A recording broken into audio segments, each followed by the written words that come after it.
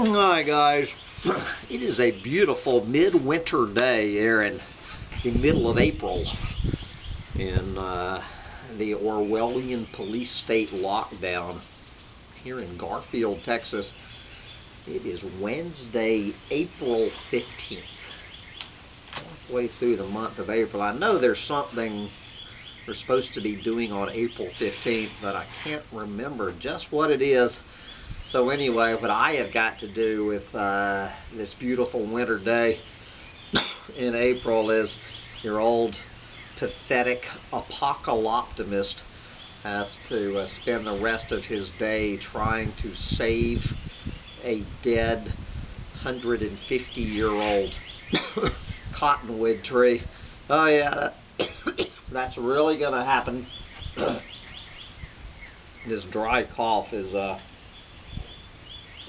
driving me crazy the past couple of days. Anyway, oh yes, I am Sam Mitchell, and this is my little co-pilot Sancho Panza in his little snowman sweater in April. And this is, is this Collapse Chronicles or Chronicles or Corona Panic?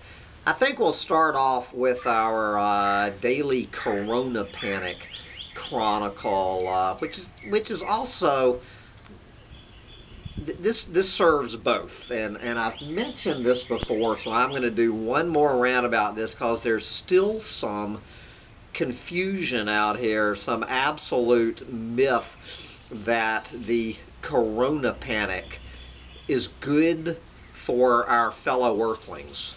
Uh, I Vegematic brother uh, I, I, I love you man but you are still promulgating this myth that the corona panic is good for uh, the planet and our fellow earthlings. So uh, I want to thank good old Book Hermit once again. Uh, good old Book Hermit for sending me. Oh, are you going to stay or are you going to get down? You're going to stay. All right.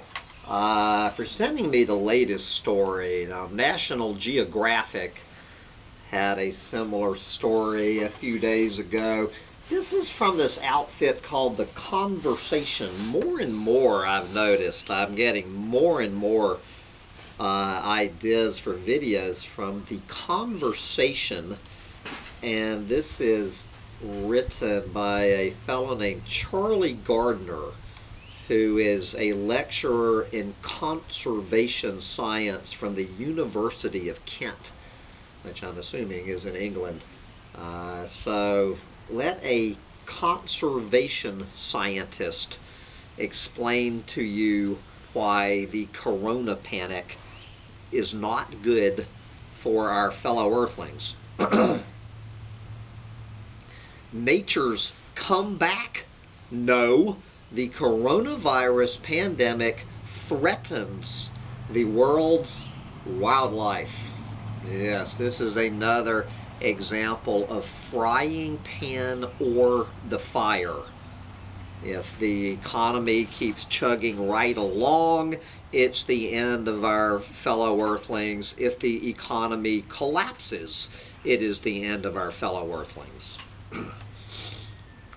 there have been many bright spots in the corona panic, but one, I'm sorry, I've already blown this my uh, 99 cent made in China glasses are getting pretty scratched up here. Start over. There have not been many bright spots in the corona panic, but one has been the apparent return of nature in the frantic pace, as the frantic pace of modern life has slowed. We have seen fish-eating birds return to the clear waters of Venice, wild boar roaming the streets of Bergamo, and of course the feral mountain goats of Llandudno. In Britain, wildlife seems set for a bountiful spring and summer. Fewer cars on the road means less roadkill. And many birds and voles those are little mice, will be spared as owners decide to keep their cats inside. You know that cats can get the coronavirus, uh, if you're not aware of that. In towns and cities, wildflowers will surely flourish as councils realize that mowing their parks is somewhat less than essential. Nature, it seems, is making a comeback. Unfortunately, this is but a partial picture, yes, and one that is limited to the minority world of industrialized nations.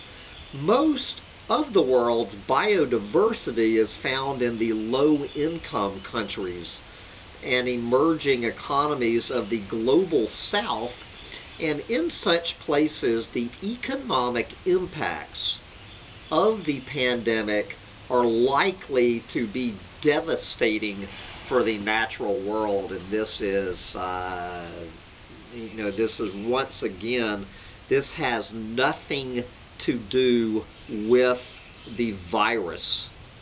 A uh, little unclear about cats, about the big cats. Uh, shut up. Uh, this is about, you know, all of these economic lockdowns to prevent supposedly the spread of this virus. Okay, you do understand what we're talking about here is the overreaction, the Orwellian police state overreaction of swatting a mosquito with a sledgehammer. That is the aspect of the coronavirus that is going to send millions upon millions of our fellow earthlings directly into the stew pot uh, as millions and millions of people have no way to make money to feed themselves.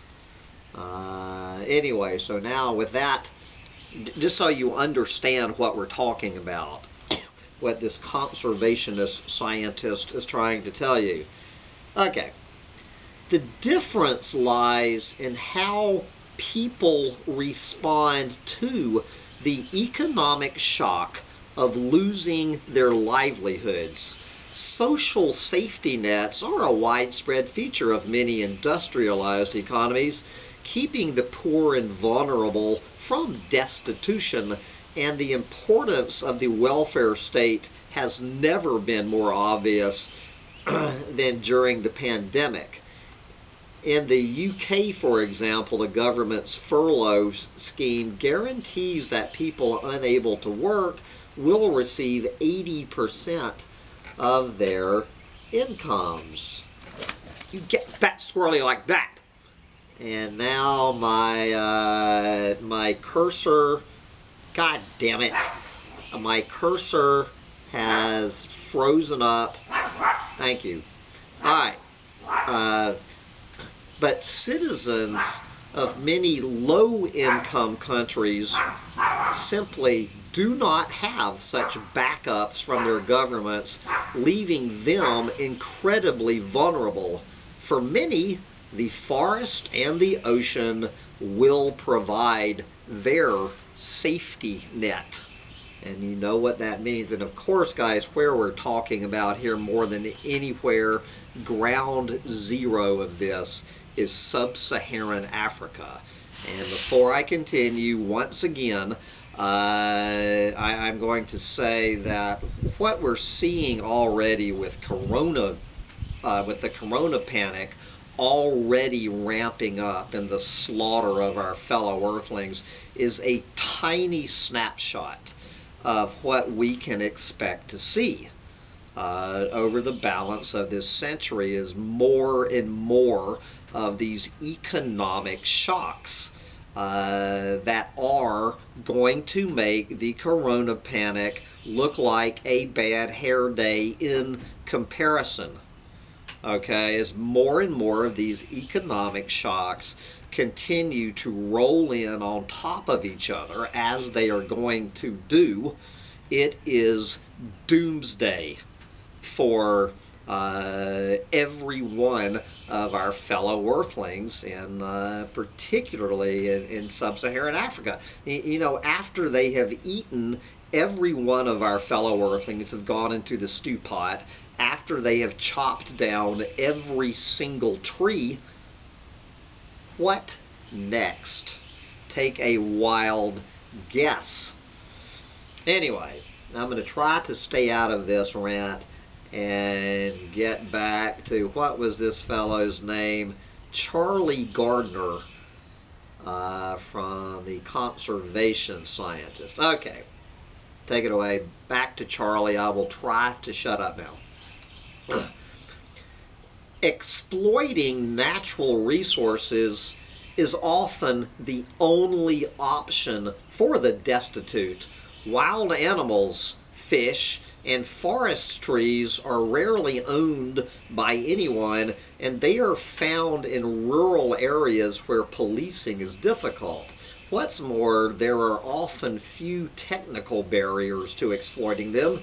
You don't need a degree to be able to wield an axe.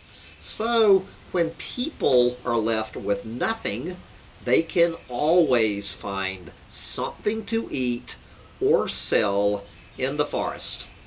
I saw this firsthand in a decade spent living in Madagascar, which is rich in lemurs and other unique creatures, but is also one of the world's poorest nations.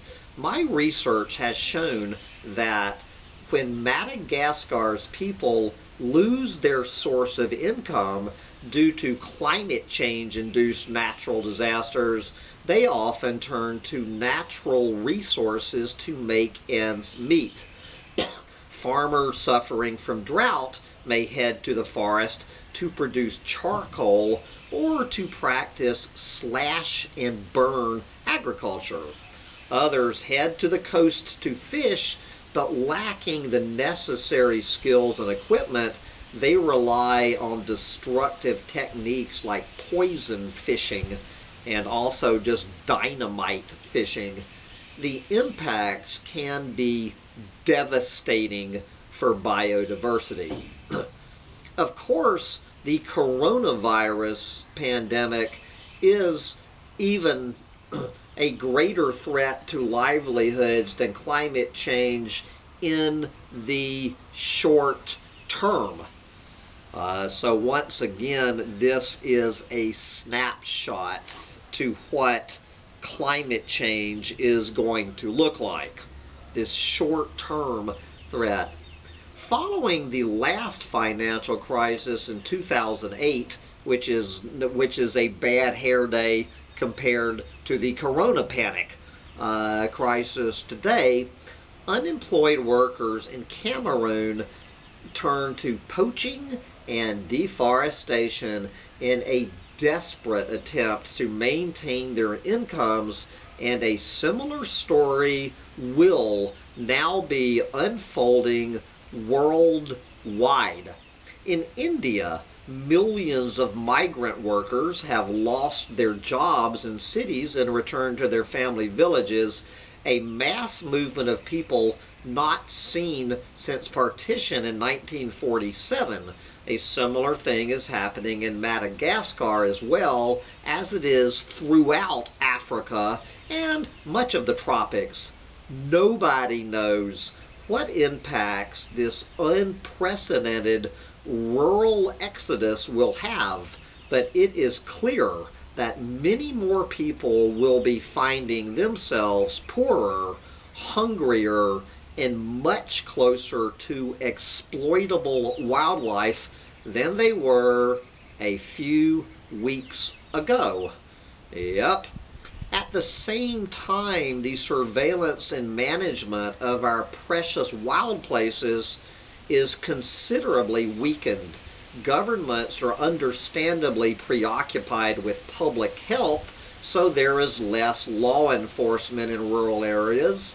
Meanwhile, the shutdown of global tourism has pulled the financial rug out from thousands of protected areas, leaving them without an operational budget for anti-poaching surveillance and other activities.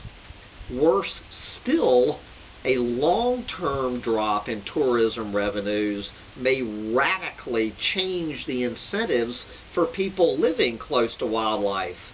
Millions of people coexist with animals around the edges of African parks and reserves, but it is not always harmonious. Wild animals can, and often do, raid crops, attack livestock, and even kill people.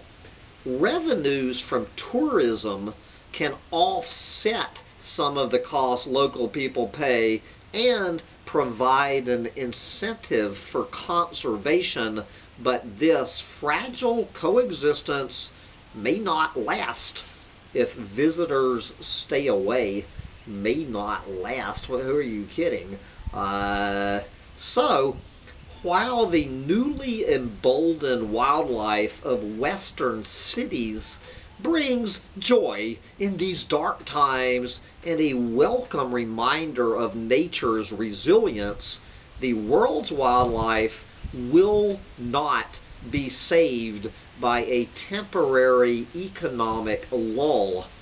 To achieve that, we are going to have to ensure conservation moves to the top of the agenda in the post pandemic world. Oh, yes, I'm sure uh, conservation is going to move to the top of the agenda in the post pandemic world. Uh, Charlie Gardner is a researcher at the Durrell Institute of Conservation and Ecology at the University of Kent and has worked for a range of environmental non-governmental uh, organizations in Madagascar.